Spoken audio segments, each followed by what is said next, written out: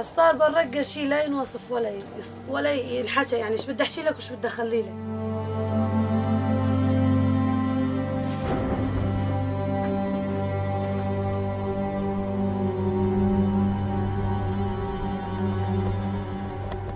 وقت جاء كان يضرب. إحنا يدمرنا.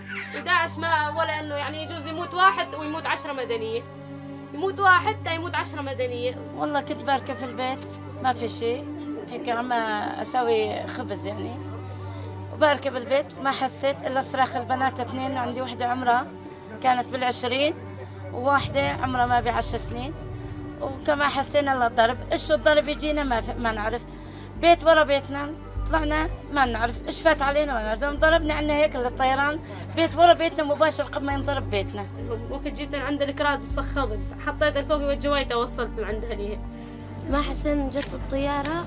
وضربتنا وضربت البيت اللي ورانا وارتعبنا كلياتنا وجينا طفشنا لحالنا برية يجي أسبوع سبعة أيام. بس أنا لاني داعشية ولا أني كردية ولا أني جيش حر ولا أني شي بهالعالم ولا ولا عارضت ولا أني معارضة. أنا إنسانة حرة قاعدة ببيتي عيشي وعيش ولدي ماني حول حدا.